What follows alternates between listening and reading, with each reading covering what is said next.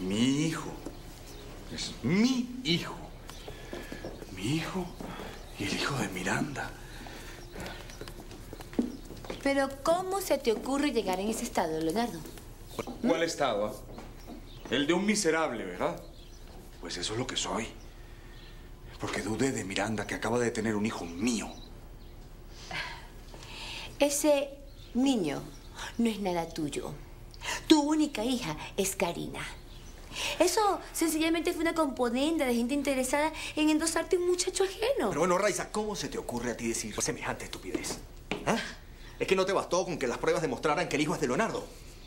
Pues resulta, querido primo, que yo no creo en nada. Porque Pedro fue el médico obstetra y muy bien pudo alterar el resultado de los exámenes. Ay, Dios mío, hay que ver que la envidia te carcome y te hace decir incoherencias. Bueno, primo, acuéstese a dormir y nos vemos mañana. No sigas oyendo estupideces. No, no creas en eso, Leonardo. Son puras mentiras. Mentiras son las que tú me has dicho. Miranda jamás me mintió. Y no sé cómo hacer para pedirle perdón. Mi hijo, un hijo varón, mío, mío, y que yo mismo recibí. Porque yo mismo lo traje al mundo, ¿viste? Yo mismo. Ese niño no es nada tuyo, Leonardo. Tu única hija es Karina.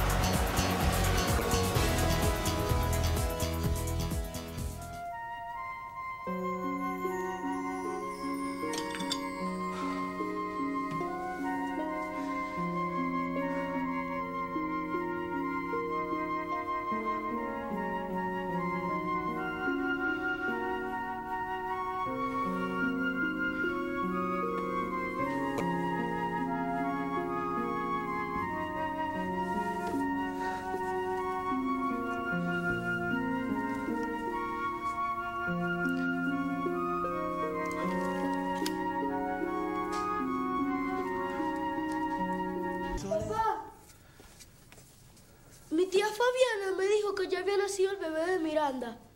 ¿Eso es verdad? ¿Ya nació mi hermanito? Sí, hijo. Sí. ¿Pero cómo es? Yo quiero ir a verlo. Es maravilloso. Es un niño maravilloso. Sabes, yo. Yo lo cargué. Era tan frágil y tan tibiecito. Sentí su primer llanto en el corazón. Ese niño le abrió los ojos al mundo en mis manos, en mis brazos. Pequeñito y a la vez fuerte. Porque lloraba a todo pulmón. Dime una cosa, papi. ¿A quién se parece más? ¿A ti o a Miranda? Se parece a su mamá. Es tan tierno. Tan tierno y tan dulce como ella.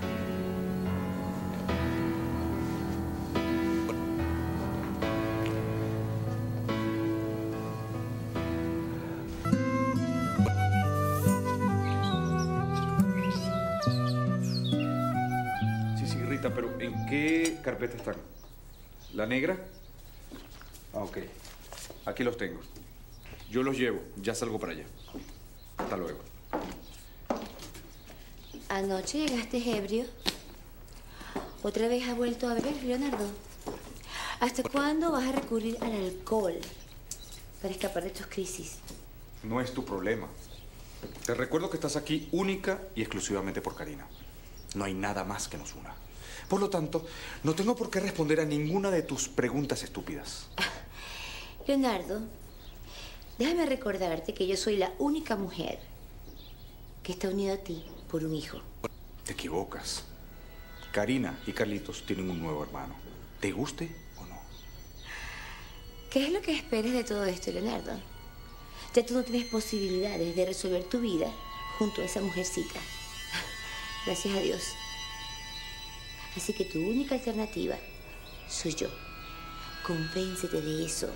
Entonces, seguiré borracho. No seas grosero. Leonardo, Tú tienes que casarte nuevamente conmigo y olvidar. No creas que vas a vivir aquí de por vida, Raiza. Yo le voy a buscar una solución a esto. La niña tiene que estar conmigo para evitar sus crisis asmáticas. Pues yo la voy a llevar a un psiquiatra infantil. Karina tiene que aprender a aceptar los cambios de la vida, así sean dolorosos. La vas a matar, Leonardo. No pienso aceptar chantajes de nadie. Yo quiero estabilizar mi vida y esa es la mejor cura para todos. Tú vas a salir de aquí tarde o temprano. Y recuerda que esta casa fue de Miranda y ahora es de su hijo. La tuya se vendió hace mucho tiempo y allá quedaron tus recuerdos.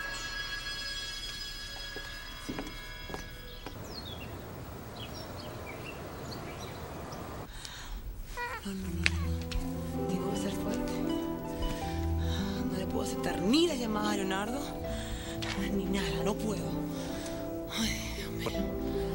Hola, hola, en este momento no te puedo atender, por favor, déjame un mensaje.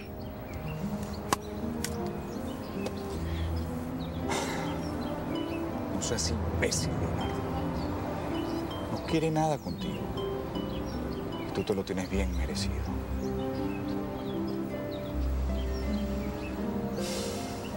Nina, Ay, señor Leonardo.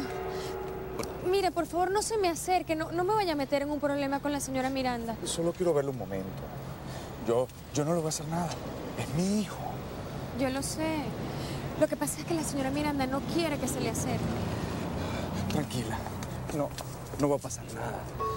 Solo quiero estar un minuto con mi hijo. Hijo